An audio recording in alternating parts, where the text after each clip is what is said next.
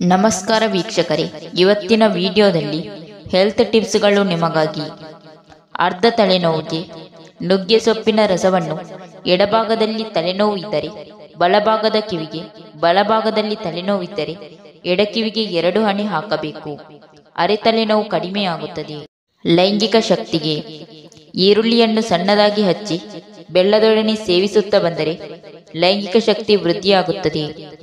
ತಾಜಾ ಕಬ್ಬಿನ ಹಾಲಿಗೆ ಶುಂಠಿ ರಸ ಸೇರಿಸಿ ಸೇವಿಸುತ್ತಾ ಬಂದರೆ ಲೈಂಗಿಕ ಶಕ್ತಿ ಉತ್ತಮಗೊಳ್ಳುತ್ತದೆ. ತಲೆ ಸುತ್ತುವಿಕೆಗೆ ನುಗ್ಗೆ ಸೊಪ್ಪನ್ನು ಬೇಯಿಸಿ ಚೆನ್ನಾಗಿ ಬಸಿದು ನೀರನ್ನು ಬೇರ್ಪಡಿಸಿ ಅದಕ್ಕೆ ನಿಂಬೆ ರಸ ಸೇರಿಸಿ ಒಂದು ವಾರಗಳ ಕಾಲ ಕುಡಿಯುತ್ತಾ ಬಂದರೆ ತಲೆ ಸುತ್ತುವಿಕೆ ನಿಲ್ಲುತ್ತದೆ. ನಿಂಬೆಹಣ್ಣಿನ ರಸವನ್ನು ಬರೀ ಜೇನುತುಪ್ಪದೊಂದಿಗೆ ಸೇವಿಸಿ ತಲೆ ಸುತ್ತುವಿಕೆ ಕಡಿಮೆಯಾಗುತ್ತದೆ. ಜಂತು ಹುಳ ಸಿಹಿ ಕುಂಬಳದ ಹಸಿ ಬೀಜವನ್ನು ಜಜ್ಜಿ ರಸ ತೆಗೆದು ಕುಡಿದರೆ ಹುಳಗಳೆಲ್ಲ ಮಲದ ಮುಖಾಂತರ ಹೊರಟು ಹೋಗುತ್ತದೆ. ನುಗ್ಗೆಕಾಯಿಯ ಹೂವನ್ನು ಜಜ್ಜಿ ರಸ ತೆಗೆದು ಕುಡಿದರೆ ಜಂತು ಹುಳುಗಳು ಸಾಯುತ್ತದೆ. ರಕ್ತಹೀನತೆ, ಅನನಾಸು ಹಣ್ಣಿನ ರಸಕ್ಕೆ ಸ್ವಲ್ಪ ಜೇನುತುಪ್ಪ ಸೇರಿಸಿ ಸೇವಿಸುತ್ತಿದ್ದರೆ ರಕ್ತ ವೃದ್ಧಿಯಾಗುತ್ತದೆ. ಪ್ರತಿನಿತ್ಯ ಕ್ಯಾರೆಟ್ ರಸ ಸೇವನೆಯಿಂದ ರಕ್ತಹೀನತೆ ನಿವಾರಣೆಯಾಗುತ್ತದೆ. ನಿದ್ರಾಹೀನತೆ ಒಂದು ಬಾಳೆಹಣ್ಣನ್ನು ಸಿಪ್ಪೆ ಸಹಿತವಾಗಿ ಕತ್ತರಿಸಿ, ಒಂದು ಲೋಟ ನೀರಿಗೆ ಹಾಕಿ ಚೆನ್ನಾಗಿ ಕುದಿಸಿ, ಅರ್ಧ ಇಂಗಿದ ನಂತರ ಶೋಧಿಸಿಕೊಂಡು ಕುಡಿಯುವುದರಿಂದ ಚೆನ್ನಾಗಿ ನಿದ್ದೆ ಬರುತ್ತದೆ. ಬಿಸಿ ಮಾಡಿದ ಹರಳೆಣ್ಣೆಯನ್ನು ಕಣ್ಣಿನ ರೆಪ್ಪೆಯ ಮೇಲೆ ಸವರಿ ಮಲಗಿದರೆ ಸುಖವಾಗಿ ನಿದ್ರೆ ಬರುತ್ತದೆ. ವೀರ್ಯ ವೃದ್ಧಿ ಹಾಗೂ ಸ್ಖಲನ. ವೀರ್ಯಾಣುಗಳ ಕೊರತೆ ಇರುವವರು ಪ್ರತಿನಿತ್ಯ ಖರ್ಜೂರದ ಹಲ್ವ ಸೇವಿಸುತ್ತಾ ಬಂದರೆ ವೀರ್ಯಾಣುಗಳ ವೃದ್ಧಿಯಾಗುತ್ತದೆ. ವೀರ್ಯ ಸ್ಖಲನವಾಗುತ್ತಿದ್ದರೆ ಸೋರೆಕಾಯಿಯನ್ನು ಪ್ರತಿನಿತ್ಯ ಬಳಸುತ್ತಿದ್ದರೆ ಉಪಯೋಗವಾಗುತ್ತದೆ. ಎಲೆನೀರಿಗೆ ಜೇನುತುಪ್ಪ ಸೇರಿಸಿ ಕುಡಿಯುವುದರಿಂದ ವೀರ್ಯ ವೃದ್ಧಿಗೆ ಪ್ರಯೋಜನವಾಗುತ್ತದೆ. ಮಲಬದ್ಧತೆ. ರಾತ್ರಿ ಮಲಗುವಾಗ ಒಂದು ಲೋಟ ಕ್ಯಾರೆಟ್ ರಸ ಸೇವಿಸುತ್ತಾ ಬಂದರೆ ಮಲಬದ್ಧತೆ ನಿವಾರಣೆಯಾಗುತ್ತದೆ. ಹಸಿ ಮೂಲಂಗಿಯನ್ನು ತುರಿದು ಮೊಸರಿನಲ್ಲಿ ಹಾಕಿ ತಿಂದರೆ ಅಥವಾ ಮೂಲಂಗಿಯನ್ನು ಯಾವ ರೂಪದಲ್ಲಾದರೂ ಹಸಿಯಾಗಿ ಬಳಸಿದರೆ ಮಲಬದ್ಧತೆ ನಿವಾರಣೆಯಾಗುತ್ತದೆ. ಕಳಿತ ಬಾಳೆಹಣ್ಣನ್ನು ಸಿಪ್ಪೆ ಸಹಿತವಾಗಿ ಏಲಕ್ಕಿಯ ಪುಡಿ ಜೊತೆ ಸೇರಿಸಿ ಸೇವಿಸಿದರೆ ಮಲಬದ್ಧತೆ ನಿವಾರಣೆಯಾಗುತ್ತದೆ. ಸ್ಥೂಲಕಾಯದವರಿಗೆ ಸ್ವಲ್ಪ ಬೆಚ್ಚಗಿನ ನೀರಿಗೆ ನಿಂಬೆ ರಸ ಮಾತ್ರ ಹಿಂಡಿಕೊಂಡು ಬೆಳಿಗ್ಗೆ ಬರಿ ಹೊಟ್ಟಿಗೆ ಕುಡಿಯುತ್ತಾ ಬಂದರೆ ಶರೀರದಲ್ಲಿರುವ ಕೊಬ್ಬಿನಾಂಶ ಕರಗುತ್ತಾ ಬರುತ್ತದೆ, ತೂಕವು ಕಡಿಮೆಯಾಗುತ್ತದೆ.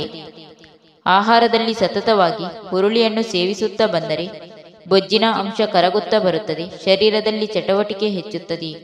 ವೀಕ್ಷಕರೇ, ನಾವು ಮಾಡುವ ವಿಡಿಯೋದಲ್ಲಿ ನಿಮಗೆ ಏನಾದರೂ ಡೌಟ್ ಇದ್ದರೆ ಕಮೆಂಟ್ ಮಾಡಿ ಮತ್ತು ನಿಮಗೆ ಏನಾದರೂ ಟಿಪ್ಸ್ ಬೇಕಾದರೆ ಕಮೆಂಟಲ್ಲಿ ತಿಳಿಸಿ. ನಾವು ನಿಮ್ಮ ಪ್ರಶ್ನೆಗೆ ಉತ್ತರವನ್ನು ಕೊನೆಯ ವಾರದ ವಿಡಿಯೋದಲ್ಲಿ ತಿಳಿಸುತ್ತೇವೆ. ಹೊಟ್ಟೆ ನೋವು ಎಕ್ಕದ ಎಲೆಯ ಕಷಾಯ ಮಾಡಿ ಸೇವಿಸುವುದರಿಂದ ಹೊಟ್ಟೆ ನೋವು ನಿವಾರಣೆಯಾಗುತ್ತದೆ. ಇಂಗನ್ನು ತುಪ್ಪದಲ್ಲಿ ಕರಿದು ಆ ಇಂಗಿನ ತುಂಡನ್ನು ನುಂಗಿ ಬಿಸಿ ನೀರನ್ನು ಕುಡಿಯುವುದರಿಂದ ಹೊಟ್ಟೆ ನೋವು ಹತೋಟಿಗೆ ಬರುತ್ತದೆ.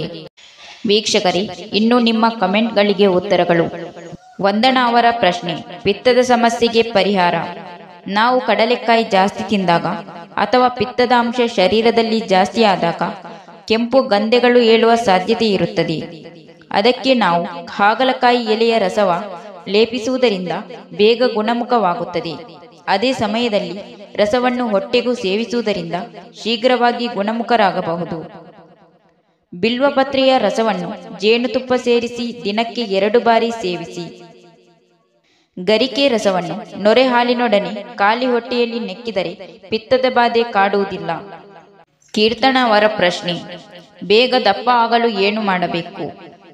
ಉತ್ತರ, ಉದ್ದಿನ ಕಾಳುಗಳನ್ನು ಬೇಯಿಸಿ ತುಪ್ಪದಲ್ಲಿ ಚೆನ್ನಾಗಿ ಹುರಿಯಿರಿ. ಬೆಲ್ಲದ ಅಥವಾ ಸಕ್ಕರೆಯ ಪಾಕ ಮಾಡಿ, ಅದಕ್ಕೆ ಅದನ್ನು ಹಾಕಿ ಕಲಕುತ್ತಾ ಇರಬೇಕು. ಅದು ಸ್ವಲ್ಪ ಗಟ್ಟಿಯಾದ ಮೇಲೆ ಕೊಬ್ಬರಿ ತುರಿ ಹಾಕಿ ಕೆದಕಿರಿ. ಇದನ್ನು ಸೇವಿಸುವುದರಿಂದಲೂ ತೂಕ ಜಾಸ್ತಿ ಆಗುತ್ತದೆ.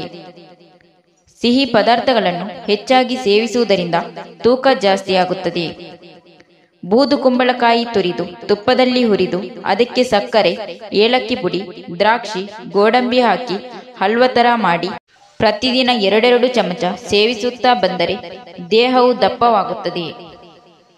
ಬಾದಾಮಿಯನ್ನು ಸಿಪ್ಪೆ ತೆಗೆದು ನುಣ್ಣಗೆ ಪುಡಿ ಮಾಡಿ ಹಾಲಿನಲ್ಲಿ ಹಾಕಿ ಕುಡಿಯುತ್ತಾ ಬಂದರೆ ತೂಕದಲ್ಲಿ ಹೆಚ್ಚಳ ಕಂಡುಬರುತ್ತದೆ. ರಂಜಿತಾ ದೇವರಾಜ್ ಅವರ ಪ್ರಶ್ನೆ, ಮುಖ ಬೆಲ್ಲಗಾಗಲು ಮತ್ತು ಡ್ರೈ ಸ್ಕಿನ್ ಸಮಸ್ಯೆಗೆ ಪರಿಹಾರ? ಚರ್ಮವನ್ನು ಮೃದುವಾಗಿಸಲು ಮೊಟ್ಟೆಯ ಹಲದಿಗೆ ಒಂದು ಚಮಚ ನಿಂಬೆ ರಸ, ಒಂದು ಚಮಚ ಆಲಿವ್ ಎಣ್ಣೆ ಸೇರಿಸಿ ಮುಖಕ್ಕೆಲ್ಲ ಸವರಿ ಗಟ್ಟಿಯಾಗುವವರೆಗೆ ಬಿಟ್ಟು ಅನಂತರ ಮುಖವನ್ನು ಉಗುರು ಬೆಚ್ಚಗಿನ ನೀರಿನಲ್ಲಿ ತೊಳೆದುಕೊಳ್ಳಬೇಕು. ದಿನಾಲು ಆಲಿವ್ ಎಣ್ಣೆಯಿಂದ ಮುಖವನ್ನು ಹತ್ತು ನಿಮಿಷಗಳ ಕಾಲ ಮಸಾಜ್ ಮಾಡಿ ಕಡಲೆ ಹಿಟ್ಟಿನಿಂದ ಸ್ವಚ್ಛಗೊಳಿಸಿ, ಇದರಿಂದ ಮುಖ ಮೃದುವಾಗುತ್ತದೆ. ಮುಖ ಬೆಳ್ಳಗಾಗಲು, ನಿಂಬೆ ಹಾಗೂ ಸೌತೆಕಾಯಿ ರಸವನ್ನು ಸಮ ಪ್ರಮಾಣದಲ್ಲಿ ಸೇರಿಸಿ ಪ್ರತಿದಿನ ಮುಖಕ್ಕೆ ಹಚ್ಚುವುದರಿಂದ ಮುಖದ ಛಾಯೆ ಬೆಳ್ಳಗಾಗುತ್ತದೆ. Thank you for watching. ವೀಕ್ಷಕರೇ, ವಿಡಿಯೋ ಇಷ್ಟ ಆದರೆ ಒಂದು ಲೈಕ್ ಮಾಡಿ. ವಿಡಿಯೋನ ಎಲ್ಲರಿಗೂ ಶೇರ್ ಮಾಡಿ. ಚಾನಲ್ನ ತಕ್ಷಣ ಸಬ್ಸ್ಕ್ರೈಬ್ ಮಾಡಿ.